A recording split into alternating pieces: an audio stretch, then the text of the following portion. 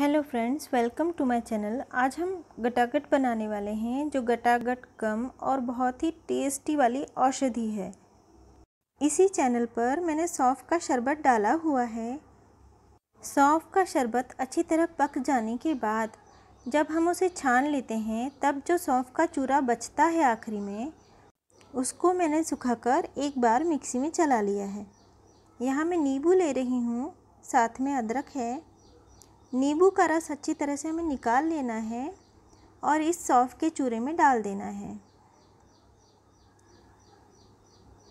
ये सौंफ का चूरा एक कटोरी था और उसमें पूरी तरह से ये भीग जाए, इतना रस होना चाहिए नींबू का।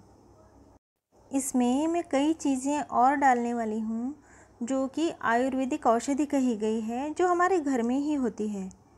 इससे इसका स्वाद तो बहुत बढ़ ही जाता है। और साथ में इसके औषधीय गुण भी बढ़ जाते हैं। यदि मैं इसके गुण बताने बैठूं तो वीडियो बहुत ही लंबी हो जाएगी। इसे जब आप बनाएँगे, खाएँगे तो आप जान जाएँगे। यहाँ आप एक कटोरी सौंफ को पीसकर भी उसमें नींबू का रस इस तरह से मिला सकते हैं। ये पूरी तरह से भीग चुका है। अब हमें दो चम्मच काली मिर्च लेनी है। उसे हमें हल्का सेक लेना है। दो चम्मच अजवाइन लेनी है। उसे भी हल्का सेक लेना है। दो चम्मच जीरा लेना है, उसे भी हमें हल्का सेक लेना है और इन सभी चीज़ों को मिक्सी के जार में डाल देना है। थोड़ी सी यहाँ हमें हींग लेनी है और हींग को भी इसी में, जार में हमें डाल देना है। इसके साथ ही अदरक के टुकड़े, ये भी हमें जार में डाल देने हैं और इसे अच्छी तरह से पीस लेना है और उसे हमें सौंफ में मिला देना है। यहाँ मैं आम का रस ले रही हूँ। ये थोड़ा सा मैंने आम का रस लिया हुआ है। इसके साथ हमें शक्कर डाल देनी है। यहाँ जिस कटोरी से मैंने सौंफ नापी थी, उसी कटोरी को भरकर मैंने शक्कर ली हुई है। अब इस तरह बिल्कुल गाढ़ा हो जाए जब ये आम का रस चलाते हुए।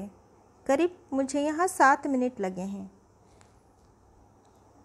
तब हमें ये सौंफ का चूरा, काली मिर्च, जीरा जो हमने पीसा हुआ था सब वो सारा इसमें डाल देना है और अच्छी तरह से इसे चला लेना है। टोटल दो कटोरी सौंफ हमें लगती है। एक कटोरी सौंफ में हम नींबू का रस मिलाते हैं और एक कटोरी सौंफ आखिरी में डलती है। एक छोटी चम्मच काला नमक और एक छोटी चम्मच सादा नमक इसमें मिला देना है अच्छी तरह से। अब हमें इसे थाली में निकाल लेना है।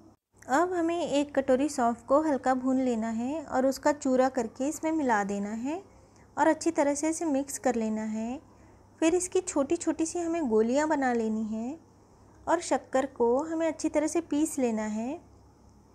इस पर हमें ये गटागट डालते जानी है ताकि इसकी एक लेयर इस पर बन जाए और गटागट आपस में चिपके नहीं।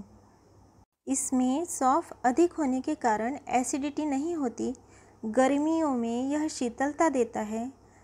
जब आपको आम का रस ना मिल पाए तो काली खजूर में केवल आप इस चूरे को मिक्स कर लीजिए और ये रेडी हो जाती हैं। काली खजूर की गुठली निकालकर अच्छी तरह मसल कर ये सारा चूरा उसमें मिला देने से गटागट बन जाती है। इसी तरह की और भी वीडियोस देखने के लिए आप हमारे चैनल को सब्सक्राइब करें।